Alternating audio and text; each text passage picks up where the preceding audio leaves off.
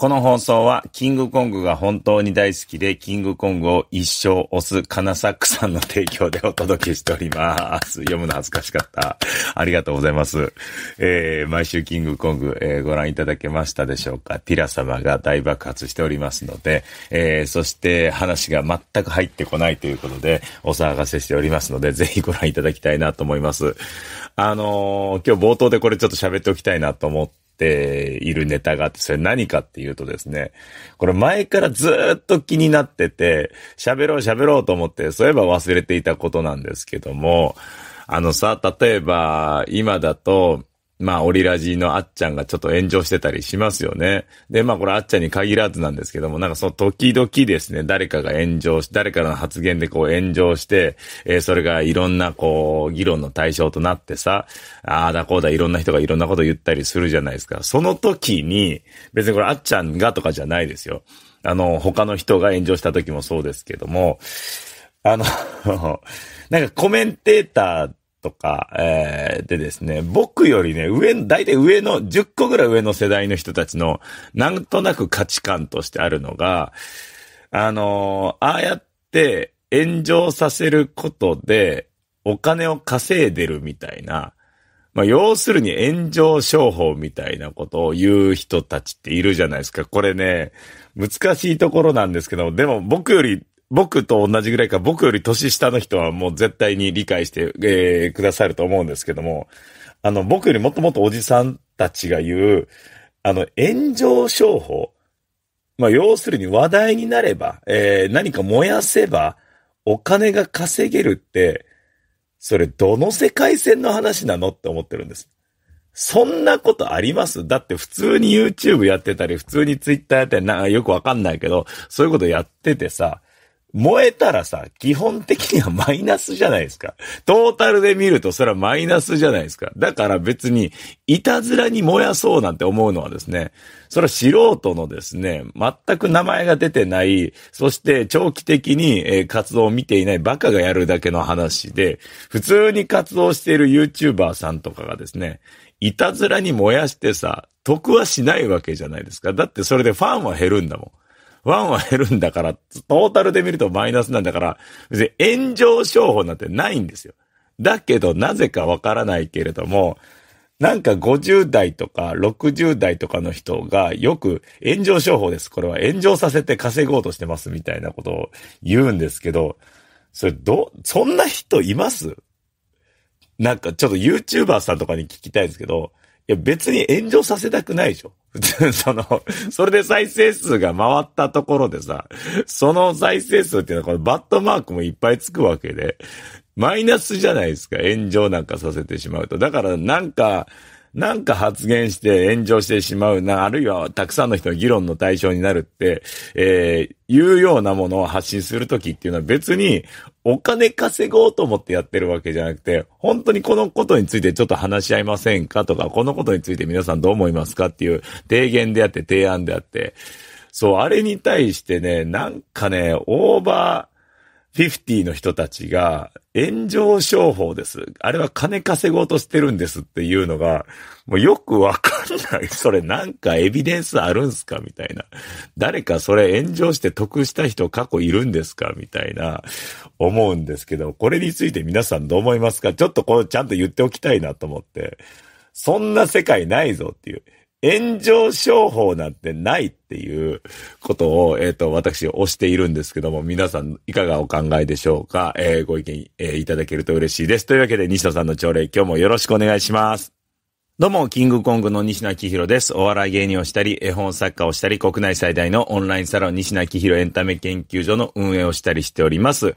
さて今日はですね、ツイッターの新機能、ツイッターブルーのいいところと悪いところというテーマでですね、あのー、ツイッターの新機能、これ始まったらいつだ？今年の頭ぐらいですかね、えー、を1ヶ月間利用してみた結果をですね、皆様に共有したいなと思っております。まずですね、ツイッターブルーとは何ぞやというところなんですけれども、まあ、ざっくり説明するとですね、ツイッターの機能をパワーアップしてくれる、バージョンアップしてくれる月額制のサービスですね。で、毎月の料金はですね、えっとね、ブラウザーから加入するとですね、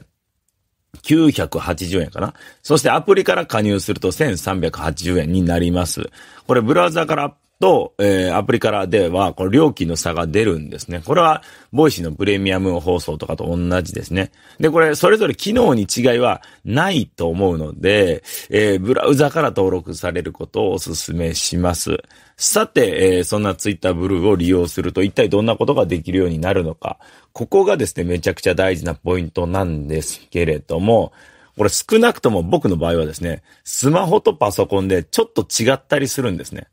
厳密に言うとですね、アンドロイドアプリのツイッター、えー、過去スマホとですね、ウェブ版のツイッター、過去パソコンで、少しだけ利用できる機能の幅が違っていて、ここ、ちょっと複雑なんですけども、僕の場合ね、えー、少なくとも2023年6月現在の、えー、僕の場合だとですね、アンドロイドのアプリから、えー、は、最大2000文字が投稿できますが、パソコン、これウェブ版だとですね、最大4000文字が投稿できます。ちょっとここに違いがありますね。なので、えー、長文を投稿するときなんかは僕はですね、パソコンから投稿しています。まあそもそもですね、2000文字を超す文章をスマホで打つシーンってあんまりなくて、えー、まあ2000文字を超える文、長文はですね、パソコンで書くか、あるいはですね、そもそもパソコンに入っている文章、まあ、過去記事とか書籍の文章などをコピペするかといった感じになるので、なのでパソコンから投稿するっていうのは、僕の場合全くストレスを感じなかったです。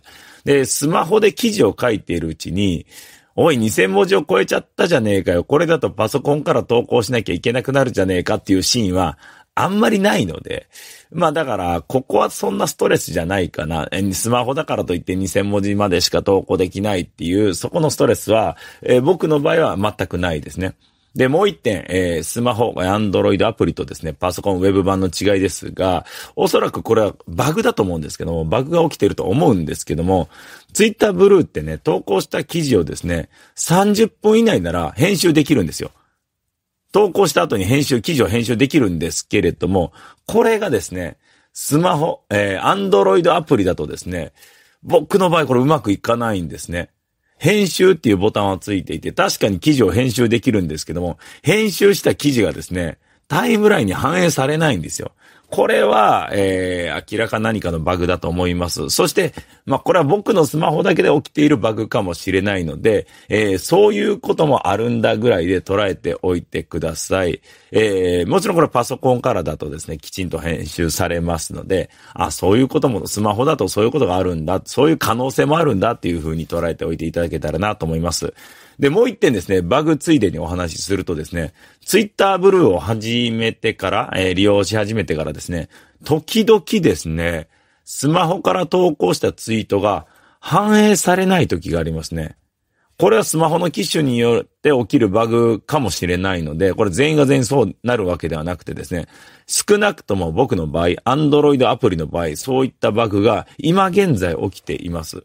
こういうのはですね、まあ時間が経てば改善されると思うんですけども、そのことを知らずにね、長文を投稿して、そしてタイムラインに反映されなかった時の絶望感ときたら、もう半端ないので、えー、スマホから長文を投稿する際はですね、必ず、えー、その記事をですね、全文コピーしておいた方が、念のためね、えー、消えちゃった時のためにコピーしておいた方がいいと思います。で、このバグはですね、パソコンからはですね、今のところ見られないので、やっぱり僕はですね、長文を投稿するときはですね、パソコンから投稿するるようにしています。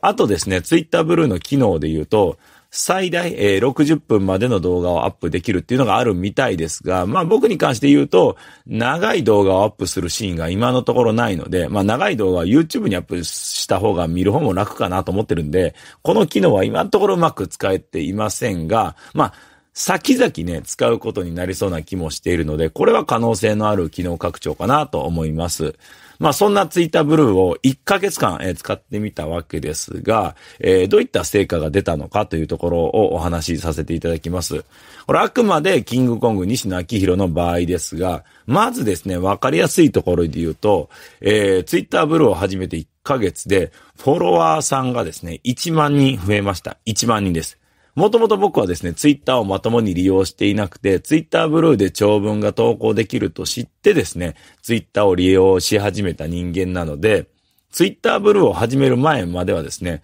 フォロワーの増減っていうのはほとんどなかったんですね。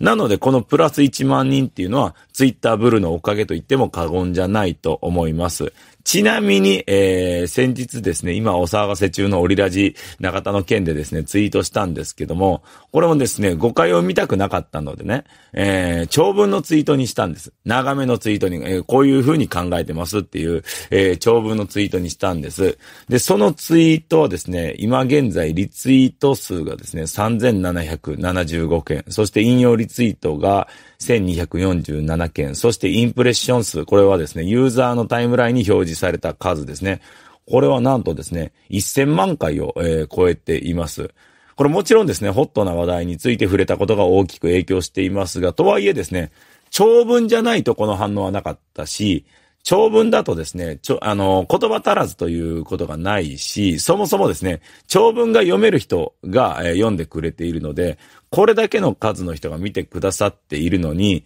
あの、意見のそういうあれとね、アンチ特有のですね、下手な批判っていうのは、もうほぼゼロでしたね。ほとんどなかった。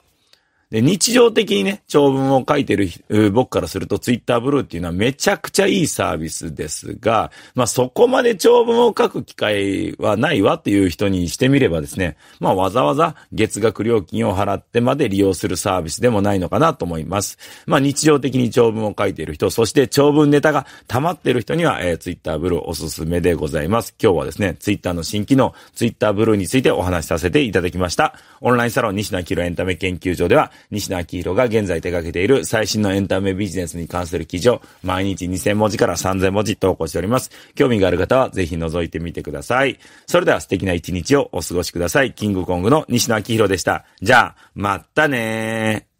すいません。最後にお知らせをさせてください。えー、来たるですね、6月24日土曜日ですね、10時、朝の10時半から12時半の間にですね、えー、法輪堂書店高田馬場店、えー、3階、えー、でですね、夢と金のですね、大ヒット記念サイン会がございます。よろしくお願いします。まあ最近ね、人と会うっていうようなことをですね、結構あの、なカフェオレベースの手渡し会みたいなのもやってるんですけども、やっぱ直で1対1で人と会って、少ない時間であるけれどね、もう一対一で喋って、えー、いつもありがとうございますとか、頑張ってねっていう声をかけることってめちゃくちゃ重要だなと思って、えー、せっかく夢と金が大ヒットしたっていうことで、この勢いに乗じてですね、えー、またまたサイン会をさせていただきます。まあ本当にサイン、サインをすることが目的っていうよりかは、一対一でおしゃべりするっていう、そして、えー、ツーショットの写真を撮るっていう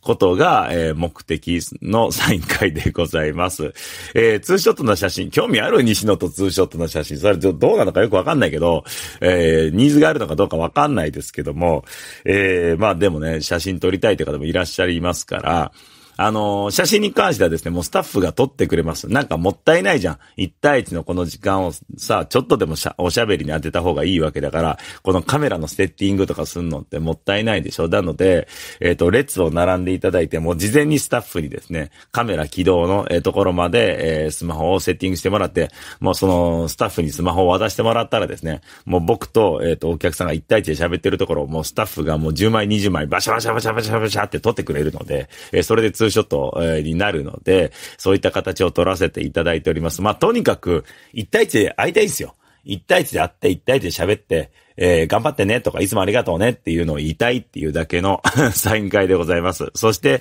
やっぱり本屋さんをね、応援したいので、えー、これは本屋さんでやろうということで、法輪堂書店さん、高田馬場店さんですね。で、えー、開催します。えー、土曜日なので、えー、ぜひですね、えー、ご家族でお越しいただけたらなと思っております。朝の10時半から12時半、ちょっと早い時間でございますが、お付き合いいただけたらなと思っております。えー、詳細はですね、このチャプターの概要欄の方にリンク貼っておきますので、まあ予約とかね、事前予約とか、別にこれ本屋さんまで行って、えっ、と、サイン会の券みたいなの取りに行かなきゃいけないっていうことではないので、えー、ネットでできますので、えー、ぜひ予約してみてください。それでは素敵な一日をお過ごしください。キングコングの西野明宏でした。じゃあまたね